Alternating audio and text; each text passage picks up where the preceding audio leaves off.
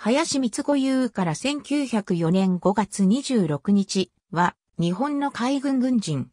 日露戦争に鳥海艦長として出征し、第3回旅巡港閉塞作戦総指揮官を務めた海軍大佐である。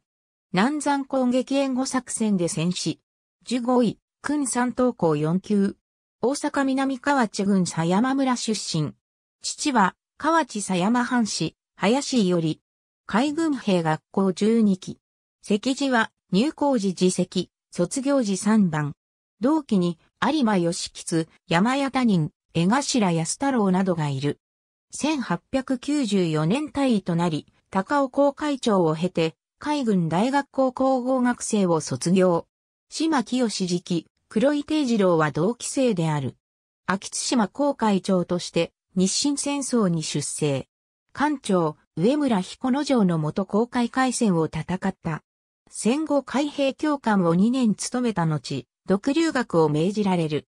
同時に留学を命じられたのは、秋山正幸、村上角一、宝部表、広瀬武雄である。留学期間は3年半に及び、在読中に中佐に進級している。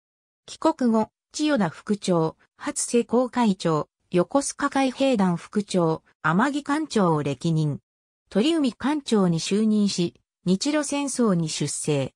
第3回旅順閉塞作戦総指揮官を務める。第2軍の南山攻撃援護のため、鳥海は、筑紫と南山砲台の砲撃に赴くが、ロシア軍の反撃により林は戦死した。1904年5月2日、第3回閉塞作戦総指揮官に任じられた林は柴田丸に乗船指揮を取った。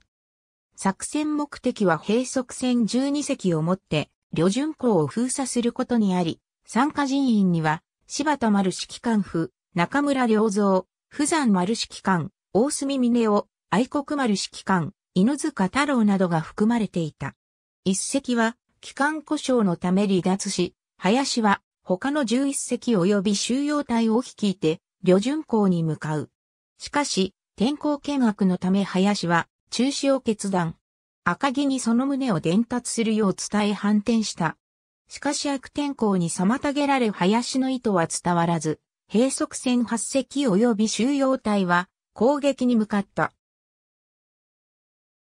5月3日午前0時、林は後続船が少ないことから反転し、攻撃に向かったが、抱き故障のため目的を達することはできずに終わる。第三次閉塞作戦で攻撃に向かった8隻の乗員158名は戦死、行方不明、負傷及び、ロシア軍の捕虜となった者合計115名に及び、無傷で生還した者は43名であった。日露戦争名誉列伝、林光子有君太書章列伝、海軍兵学校物語、ハンモックナンバー。第二編旅順口及び日に川の敵艦隊に対する作戦、第十少旅順口第三回閉塞、艦砲、第2276号、除任及び。事例1891年2月3日。艦砲、第2617号、除任及び。事例1892年3月24日。艦砲第4906号、除任及び。事例1899年11月7日。官報第3838号、付録、事例1896年4月18日。ありがとうございます。